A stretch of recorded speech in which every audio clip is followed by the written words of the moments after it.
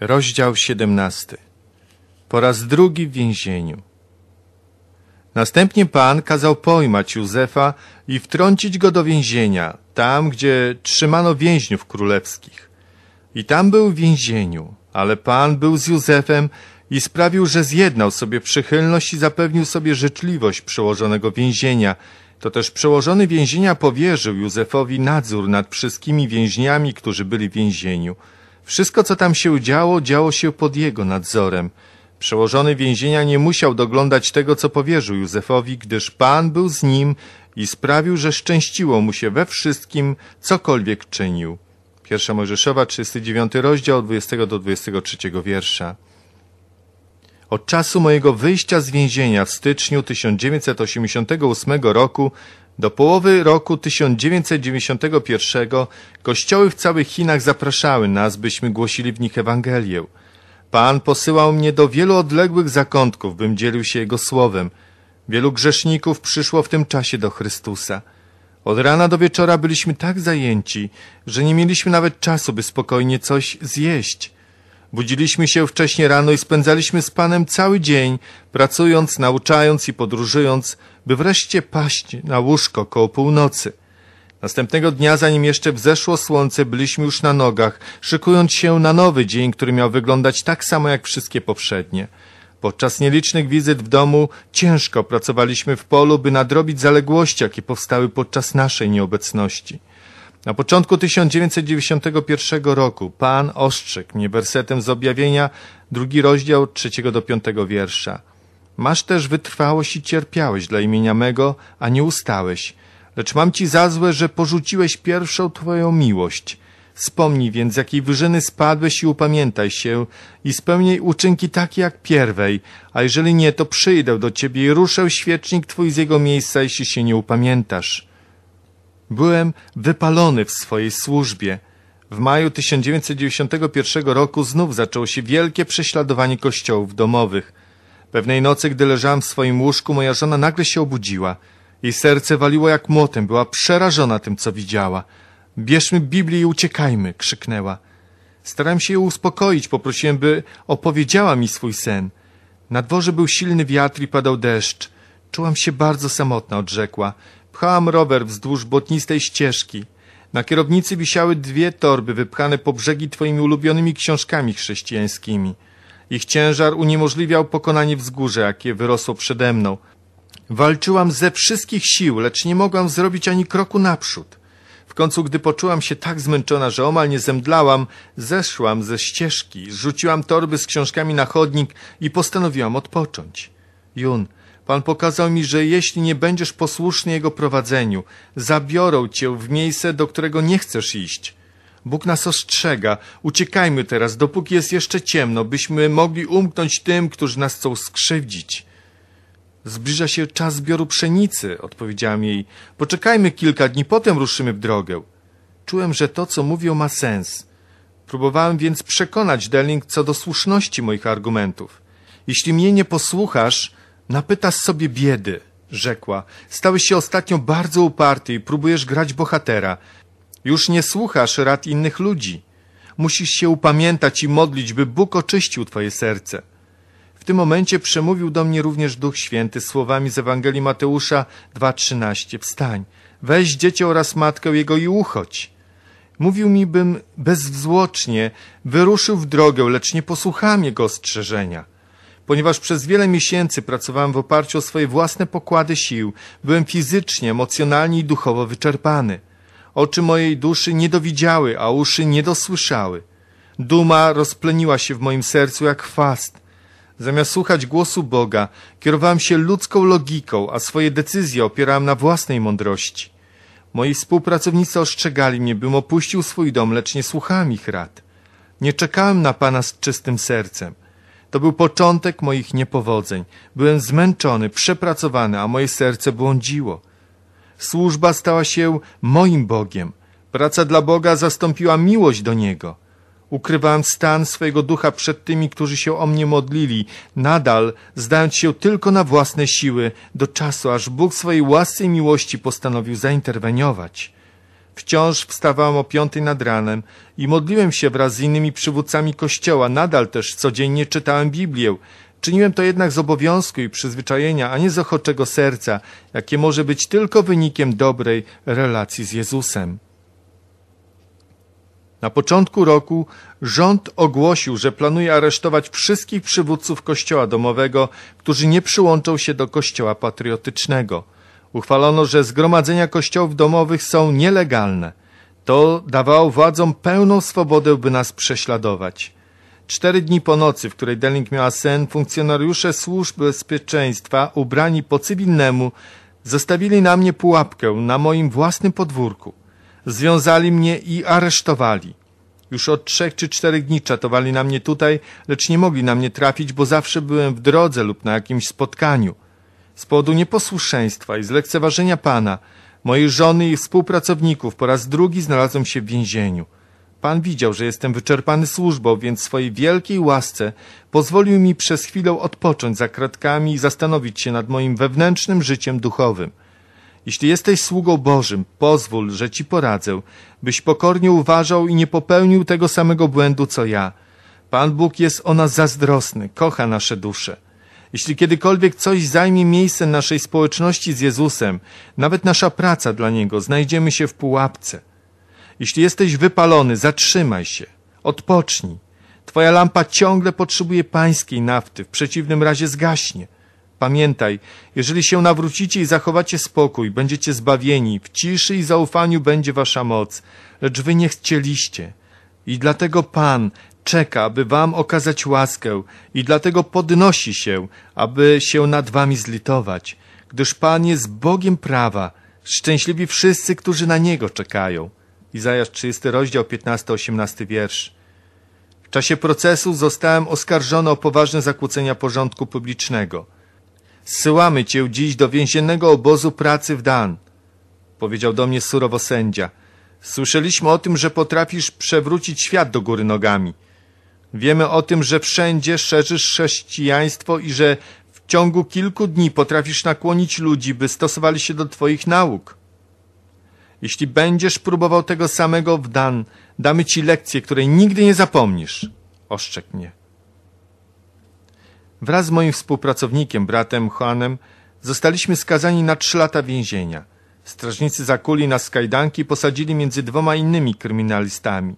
Wsadzili nas do furgonetki zawieźli do centrali zatrzymań, gdzie mieliśmy spędzić kilka miesięcy, zanim nas oficjalnie odeślą do obozu pracy. Już wiedziałem, że wpakowałem się w te kłopoty przez mój grzech i dumę. Gdy dotarliśmy do centrali zatrzymań, pokutowałem, zalewając się przy tym łzami i zdałem się na łaskę i miłosierdzie Pana. Przebaczył mi i wzmocnił moją wiarę. Gdy przybyłem do więzienia, Duch Święty przemówił do mojego serca tymi oto słowami. I któż wyrządzi wam co złego, jeżeli będziecie gorliwymi rzecznikami dobrego? Ale chociażbyście nawet mieli cierpieć dla sprawiedliwości, błogosławieni jesteście. Nie lękajcie się więc gruźb ich i nie trwóżcie się, lecz Chrystusa Pana poświęcajcie w sercach waszych, zawsze gotowi do obrony przed każdym domagającym się od was wytłumaczenia z nadziei waszej, lecz czyńcie to z łagodnością i szacunkiem. Miejcie sumienie czyste, aby ci, którzy zniesławiają dobre chrześcijańskie życie wasze, zostali zawstydzeni, że nas powtarzali. 1 Piotra 3, 13 do 16. Wszyscy więźniowie przez pierwsze kilka dni byli witani w więzieniu srogim łajaniem i torturami. Dotyczyło to szczególnie tych, którzy już wcześniej byli za kratkami. Większość tortur zadawali nam nie strażnicy, lecz przywódcy cel. W ten sposób brutalnie nadużywając swojej władzy pokazywali nowo przybyłym, kogo mają słuchać. Strażnicy nie ingerując przyglądali się temu z boku. Byłem gotowy na to, że będą mnie bić, lecz jeden ze strażników usłyszał, że przyjęli chrześcijańskiego pastora i postanowił przyjść mi z pomocą.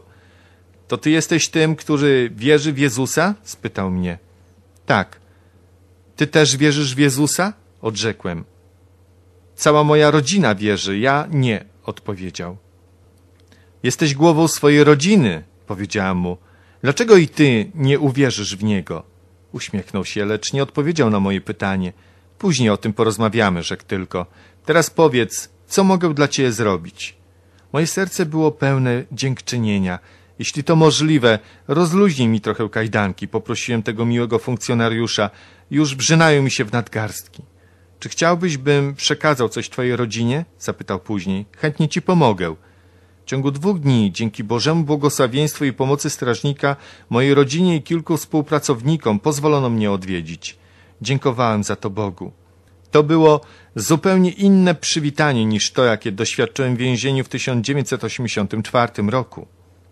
W październiku 1991 roku, pięć miesięcy po moim aresztowaniu, Biuro Bezpieczeństwa Publicznego posłało specjalną grupę uzbrojonych strażników, by zabrali mnie wraz z kilkoma innymi więźniami z centrali zatrzymań do obozu pracy w Dan, który znajdował się w okręgu Riang, północno-zachodniej części prowincji Henan.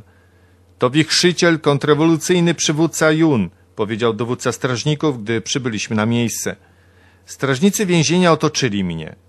Znasz Xiu Yongze, szefa kontrrewolucjonistów? Zapytali. Znasz pastora zwanego wiernym Henem? To ludzie, którzy wierzą w Jezusa, odpowiedziałem. Funkcjonariusze wyjęli moje akta. Nie próbuj nas oszukiwać, odpowiedzieli. Wiemy, że jesteś ich współpartnerem zbrodni. Przez pierwsze dni pobytu w obozie pracy zabroniono mi z kimkolwiek rozmawiać, a innym zabroniono rozmawiać ze mną. Więźniowie sądzili, że muszę być bardzo złym człowiekiem, może mordercą albo gwałcicielem. Dotkliwie mnie bili. Mężczyźni w tym miejscu bardzo potrzebowali Ewangelii. W obozie było wielu chorych i niedożywionych więźniów. Niektórzy z nich byli tak słabi, że całymi dniami leżeli czekając na śmierć. Podczas kilku pierwszych miesięcy byłem bacznie obserwowany przez strażników, ani razu jednak nie poruszyłem tematów politycznych. Pan pozwolił mi patrzeć na innych swoimi współczującymi oczami. Modliłem się o chorych i dzieliłem się ze współwięźniami Ewangelią, gdy tylko nadarzyła się ku temu sposobność. Udawało mi się to, bo przekonałem strażników, że jestem wprawnym masażystą. Masując chorych więźniów, potajemnie dzieliłem się z nimi Ewangelią i modliłem się o nich. Tym sposobem wielu z nich ze łzami w oczach przyjęło Pana Jezusa, a wraz z nim uzdrowienie ze swojej dolegliwości.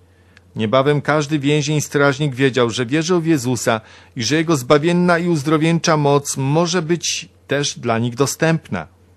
Pewnego dnia dzieliłem się Ewangelią z grupą więźniów. Radość Pana była w moim sercu. Spójrzcie, ten kryminalista jest szczęśliwszy od nas, chociaż my jesteśmy wolni, skomentowało kilku strażników. Poprośmy go, by nam zaśpiewał piosenkę. Zaśpiewałem mój ulubiony hymn pod tytułem Niech cały świat wie, że mam Zbawiciela, na imię mu Jezus. Zawsze, gdy więźniowie wracali do cel, uczyli swoich współlokatorów pieśni, jakie im śpiewałem i słów, które ode mnie słyszeli. Ciężkie, codzienne życie i beznadziejne położenie sprawiały, że gorąco pragnęli jakiegokolwiek duchowego światła. Czuli, że nie mają już radości i nadziei na przyszłość, więc delektowali się Słowem Bożym jak bezcenną perłą. Pewnego dnia przyszedł do mnie sam naczelnik więzienia, by prosić mnie o masaż obolałego karku. Zacząłem z nim rozmawiać. Szybko zorientował się, że nie jestem taki, jak przedstawiają to moje akta. Nie zachowuję się tak, jak ostrzegały nas służby bezpieczeństwa, powiedział do mnie. Bacznie przyglądaliśmy się tobie przez wiele miesięcy. Wszyscy strażnicy i więźniowie mają o tobie dobre zdanie, dlatego postanowiliśmy uczynić cię przywódcą celi. Dbasz o morale i zachowanie pozostałych więźniów i pilnujesz, by dobrze wykonywali swoją pracę. Nastawienie władz więzienia względem mnie zmieniło się na lepsze.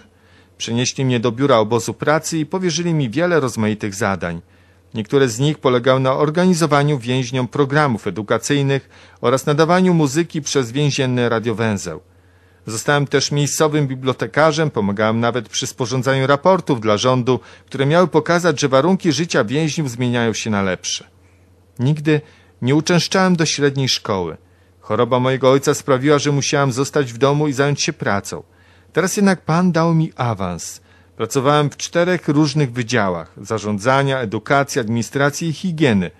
Pośród więźniów było kilku magistrów, lecz Pan mnie obdarzył łaską i sprawił, że awansowałem.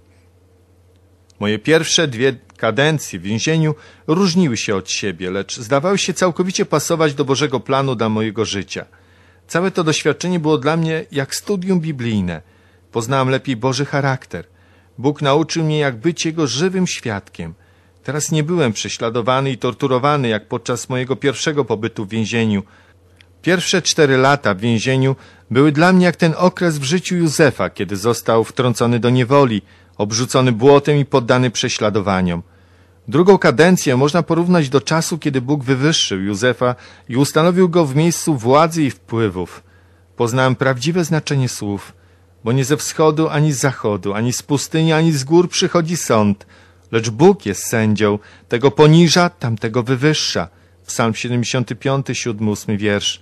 Pozwólcie, że dla wyjaśnienia dodam, że nie miałem całkowitej swobody, by robić to, na co miałem ochotę. Moim współpracownikom nie pozwolono mnie odwiedzać. Tylko ludzie mający w ręku oficjalne pisemne zezwolenie od władz mogli przyjść z wizytą do obozu pracy. Niestety większość bliskich mi wierzących była w tamtym czasie poszukiwana przez Biuro Bezpieczeństwa Publicznego, nie mogli więc starać się o pozwolenie na odwiedzenie mnie. Niewiele informacji z zewnątrz docierało do mnie. Nie mogłem wysyłać ani dostawać listów. Mimo tych ograniczeń Pań uczynił cudowną rzecz, by mi pomóc. Po zewnętrznej stronie więziennego muru ustawiony był szereg małych sklepików. Każdy z nich miał malutkie okienko w murze, przez które więźniowie odbierali jedzenie i inne zakupione w nich rzeczy. Pewnego dnia zauważyłem, że właścicielka jednego ze sklepów ma na ladzie za swoimi plecami rozłożony śpiewnik kościoła patriotycznego. Czy mógłbym zobaczyć tę książkę? spytałem ją. Nie zobaczysz mojej książki. Nie twój interes, surowo odrzekła. Schowała śpiewnik pod ladę. Była wierzącym członkiem kościoła patriotycznego. Sądziła, że wszyscy więźniowie to źli ludzie, więc nie uwierzyła, że rzeczywiście zainteresował mnie jej śpiewnik. Zauważyłem, że to śpiewnik. Zwróciłem się do niej ponownie. Bardzo bym chciał rzucić na niego okiem, bo jest w nim na pewno wiele pieśni, które potrafią śpiewać. Tu nie ma dobrych ludzi, uśmiechnęła się pod nosem. O co ci chodzi? spytała. Cioteczko, jestem prawdziwym chrześcijaninem, zapewniłem ją. Jestem tu z powodu Ewangelii i świadectwa Jezusa. Pozwól mi proszę zaśpiewać ci hymn z tej książeczki, proszę. Zrobiłeś się głupio z powodu tego, jak ze mną rozmawiała. Otworzyła książkę na hymnie, który znałem. Ze łzami w oczach zaśpiewałem. Bez ustanku chwal Boga. Teraz i zawsze oddawaj Mu dziękczynienie. Spójrz, Syn Boży ukrzyżowany, przybity na krzyżu Golgoty za Ciebie i mnie. Boża miłość jest ponad rodziną i przyjaciółmi. Grzesznicy, przyjmijcie dziś Bożą łaskę. Diable, zejdź z naszych oczu. Spójrz, Syn Boży ukrzyżowany, przybity na krzyżu Golgoty za Ciebie i za mnie. Starsza siostra zalała się łzami radości. Wystawiła rękę przez okienko i mocno uścisnęła mi ramię. Spójrz, Syn Boży ukrzyżowany, powiedziała. Niech Pan pocieszy Twoje serce. Zatrzymaj sobie tę książkę. Dwa dni później wróciłem do tego sklepiku. Powiedziała mi, że gdy wróciła do domu, Pan przemówił do niej. Zaprawdę, zaprawdę powiadam wam, cokolwiek uczyniliście jednemu z tych najmniejszych moich braci, mnie uczyniliście. Mateusz 25, 40. Nie wiedziała, jak mnie błogosławić, więc przygotowała kilka potraw i poprosiła inną siostrę, by potajemnie przekazała mi to wyśmienite jedzenie, bym był błogosławiony w imieniu Jezusa. Poprosiła mnie, bym zachodził od czasu do czasu do jej sklepu i dzielił się z nią i jej przyjaciółmi Słowem Bożym. Weszli bowiem w głębszą społeczność z Panem. Ta miła siostra zaoferowała też, że będzie pośrednikiem w przekazywaniu listów pomiędzy moją rodziną, współpracownikami a mną. Bóg jej użył, by mnie pocieszyć przez to malutkie okienko w murze.